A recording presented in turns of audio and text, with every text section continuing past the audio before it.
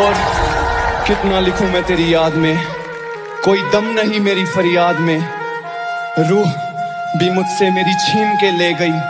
मैं मैं न रहा तेरे बाद में। उसने एक बात कही थी कि चाहे जिसम मेरा उसके पास है, पर रूह तुम्हारे में रहेगी हमेशा। आज भी उसकी बड़ी याद आती है।